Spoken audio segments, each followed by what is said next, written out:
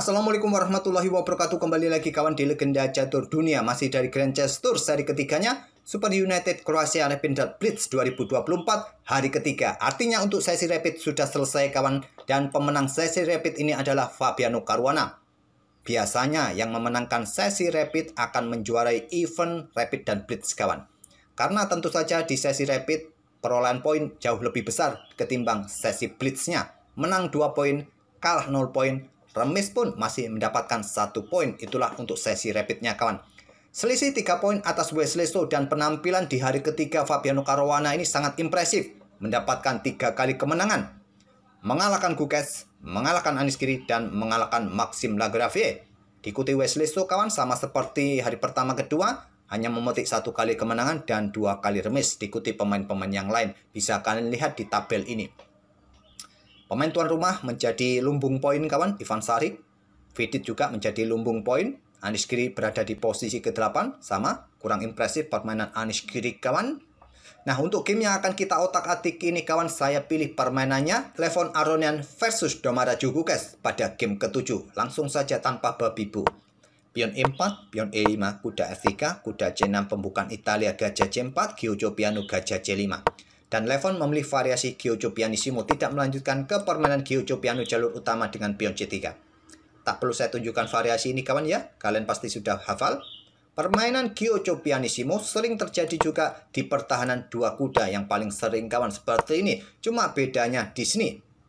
Gajah tidak mesti selalu ke petak C5. Petak E7 paling banyak dimainkan. Ya tadi kalau ke permainan Giojo Pianissimo gajah C5, pilihan keduanya bisa kalian ambil urutan berbeda tapi konstruksi permainannya sama kawan. Dan juga ada opsi dengan pertahanan dua kuda terlebih dahulu, tidak mesti dengan gajah keluar. Pion H6 bisa dimainkan. Kemarin lusa juga kita ulas permainan Magnus Carlsen seperti ini kawan. Itulah bedanya. Urutan berbeda tentu konsekuensi atau balasan dari lawan juga bisa berbeda. Bisa juga sama. Gajah C5, pion D3, kuda F6. Nah, Pion C3 merupakan pilihan utamanya kawan. Tentu permainan Italia pion C3 ini multi-purpose, multi-tujuan, multifungsi. Biasa dengan pion D6 hitam akan membalasnya, rokade, pion A6 atau rokade. Nah, putih juga bisa balas dengan permainan pion menteri, pion A4, gajah A7, benteng E1, rokade. Kembali lagi ke permainan aslinya, Levon memilih jalur sampingan dengan pion H3 saja. Pion D6 pion A4, pion A6, baru sekarang pion C3. Gugas rokade. Nah, saat lawan sudah rokade, biasa kita juga mengikutinya rokade atau sedikit menunda kawan. Tunda satu tempo, tidak rokade, mungkin mempercepat serangan pion dengan pion B4, bisa jadi. Di sini, uh, Levon memilih dengan pengembangan kuda B ke D2-nya. Setelah benteng E8 hitam sudah mempersiapkan serangan lajur pusat kawan pion D5 siap didorong, kita mestinya rokade pemain post ronde seperti kita. Tapi tidak dengan legend satu ini kawan. Ya, Levon termasuk pemain legend, sudah berusia 40 tahun tapi belum pensiun juga kawan. Masih cukup aktif, ya terbilang masih cukup muda. Beda dengan pemain bola kawan. Pemain bola usia 35 sudah ngos-ngosan, tapi catur ya Selagi otaknya masih fresh kawan, bisa lanjut main sampai usia berapapun. Kalau tidak kena penyakit pikun juga ya kawan. Levon bermain dengan kuda F1 kawan, membiarkan anak muda asal India Domara Jukukes untuk melakukan serangan duluan dengan pion D5-nya. Pion pukul kawan, giliran pion E4 pion D pukul pion E4. Kalau putih memilih ambil kuda C6 terlebih dahulu, hitam juga bisa mendapatkan kuda dengan tempo skat juga. Blokade dengan kuda, pion ambil pion G2, dan seterusnya. Oleh karena itu, dengan pion D pukul pion E4, ambil balik dengan kuda. Kalau dengan benteng langsung skat, masih bisa diblokade oleh putih dengan kudanya dan persiapan rokade pendek. Dengan kuda yang ciamik, dan target kuda ini banyak sekali kawan. Coba lihat. Banyak sekali target-targetnya berikutnya. Discover check juga. Nah untuk blokade discover check dengan kuda yang terkuat ke peta E3. Tapi Levon memilih dengan gajah E3. Membersihkan ruang-ruang sisi menteri. Menteri mungkin siap bergerak dan memilih rokade panjang. Di sini kuda hitam E5 menghindari pion, menantang pertukaran kuda. Diterima oleh Levon kuda pukul kuda E5, benteng ambil balik kuda E5. Selanjutnya Menteri E2 persiapan rokade panjang. Dan sepertinya langkah Menteri ke E7 ini sudah dipertimbangkan oleh Gugas dan menurut admin ini juga sangat bagus kawan berkoordinasi dengan benteng di lajur pusat, berkoneksi dengan gajah kawan, mungkin terjadi baku hantam gajah di sini. Menteri bersama kuda juga sangat bagus posisinya mengincar peta F2 jika rokade panjang sekarang ini juga bisa jatuh pion yang di sini dan terbuka juga uh, ancaman nanti pada menteri pada raja lajur pusat diikuti gajah siap keluar benteng siap dobling di lajur E. Tapi Kukes memilih dengan kudanya ke D6 dan mestinya kalau kita yang main rokade panjang tapi tidak dengan legend ini kawan korban menteri memilih gajah ambil gajah C5 tentu diterima oleh Kukes ambil balik oleh gajah terang di langkah ke-15-nya Levon korban menteri. Luar biasa. Jangan tiru kawan. Jangan tiru pergerakan legend seperti ini. Jangan tiru.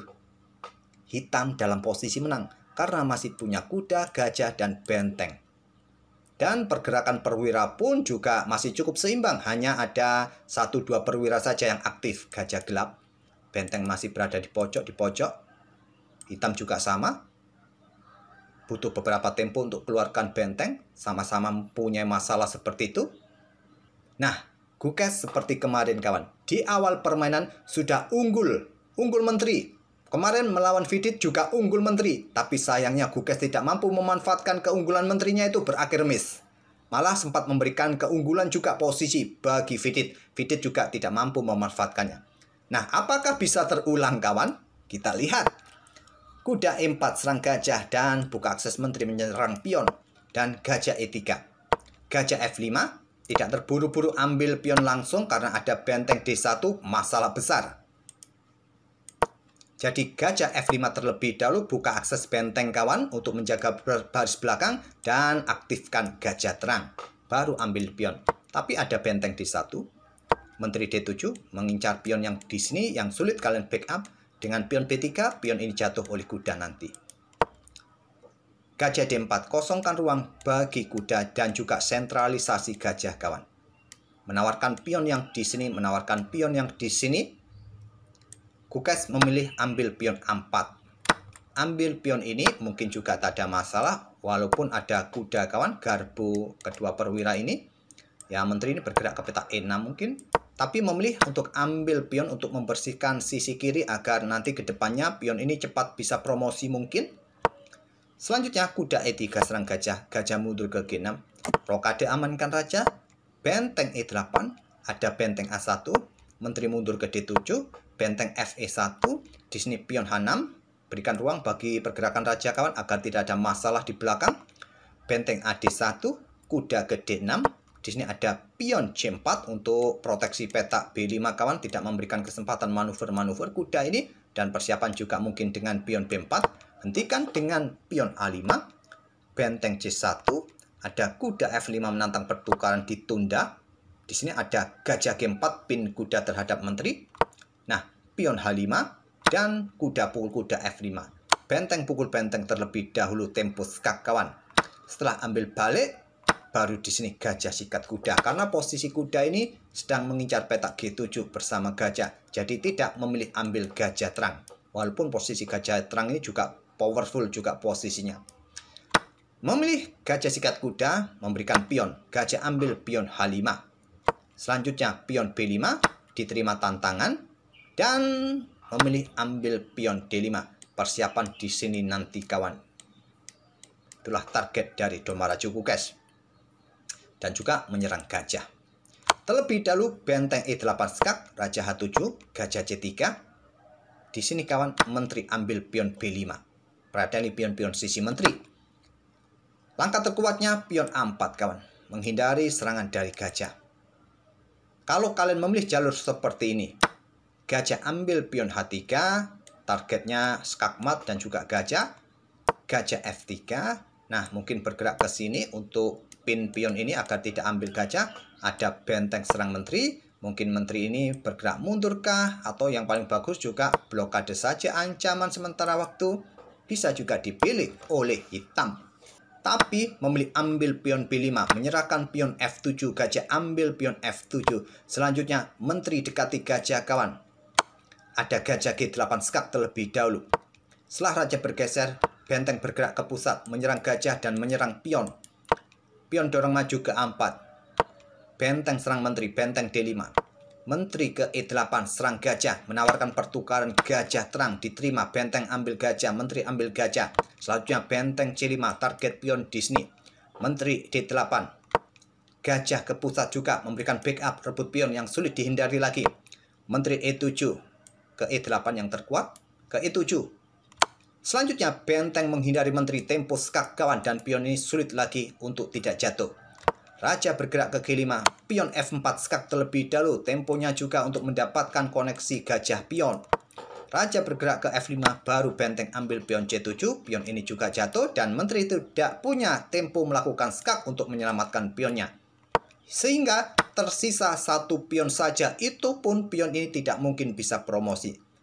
Ada pion yang menghadangnya, dan koneksi gajah pion ini sudah tak bisa disentuh lagi kawan. Wah, ceritanya alamat kawan. Punya menteri lagi tapi tidak bisa menang ini melawan Levon Aronian kali ini. Kemarin tidak bisa menang melawan Vidit. Kali ini tidak bisa menang melawan Levon Aronian. Ada apa dengan penantang juara dunia kawan, Gukes ini? Sepertinya Gukes ini belum berpengalaman dalam permainan cepat. Memang permainan klasiknya sangat bagus, sangat presisi. Tapi sering kali kawan Gukes ini demam panggung saat bermain di permainan cepat sering kali blunder kawan di momen-momen krusial Gukes ini dalam permainan cepat. Oke lanjut. Raja E4. Raja 2. Menteri E1 kawan. Menjaga peta gelap, peta H4. Blokade dengan benteng G3. Persiapan dorong pion. Menteri F5. Tak perlu saya tunjukkan langkah-langkah terbaiknya kawan. Sudah dalam posisi yang juga sulit di sini hitam. Pion H4. Menteri E2. Jaga ruang ini ada benteng G5 skak terlebih dahulu. Raja bergeser, baru dorong pion H5. Menteri E1. Benteng G3 tetap blokade diagonal gelap. Menteri D1 mengincar pion. Dorong lagi pion ke H6. Menteri ke D7 menghadang pergerakan pion. Ada benteng H3. Blokade Menteri H7 kawan tidak memberikan kesempatan pion dorong terus. Karena peta terakhir ini juga sangat bagus kawan. Sudah tidak mungkin lagi di sini hitam bisa menghentikan laju-laju pion putih. Pionnya legend Levon Aronian. Benteng H4. Raja F5. Gajah G7 kawan. Di sini Raja E4. Raja putih G3. Raja hitam F5. Benteng H5 skak. Raja bergerak ke G6. Disusul Raja G4. Raja F7. Giliran benteng F5 skak. Raja E6. Benteng F6 skak. Raja E7 Sedikit demi sedikit pion mulai didorong lagi. Pion F5. Menteri G8. Raja maju. Menteri D5 mengincar pion. Pion dilepas. Menteri ambil pion G2 skak. Raja H7. Kemudian menteri ke pusat lagi mengawasi petak G8 ruang terang. Giliran benteng F8. Persiapan pion F6 didorong maju. Raja D7. Raja H8. Menteri B3 hanya bisa mondar-mandir di ruang terang saja kawan. Pion H7. Menteri C4, pion F6, Raja E6, Raja G8, dan Gukes menyerah. Gukes menyerah. Pion ini sudah punya jalan untuk promosi. Kalaupun mau discover check, ya pion dorong sudah terblokade dan sudah tidak mungkin lagi. Di langkah ke-68, Gukes akhirnya menyerah. Ya, gagal lagi kawan. Punya menteri gagal menang. Seperti kemarin, gagal menang saat melawan Vidit. Kemarin masih imbang kawan tapi sekarang kalah malahan oleh legend Levon Aronian. Luar biasa Levon. Di langkah ke-15-nya masih cukup dini untuk membuat pengorbanan menteri, korban menteri. Oke, semoga permainan dari kedua pemain tadi bisa menghibur kalian, jadi bahan referensi, jadi bahan inspirasi, tapi jangan kalian tiru korban menteri seperti itu kawan. Kalau dalam permainan standar, habis kalian. Tapi dalam permainan cepat, ya mungkin apa pun masih bisa terjadi. Terima kasih, kita akan bertemu di video-video berikutnya. Wassalamualaikum warahmatullahi wabarakatuh.